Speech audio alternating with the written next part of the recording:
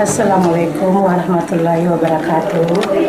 Nama saya Darmawati M. Akib, perwakilan dari Al Hidayah, mengucapkan selamat Hari Ibu yang ke-95 buat ibu-ibu yang sukses, mandiri, dan hebat. Assalamualaikum warahmatullahi wabarakatuh.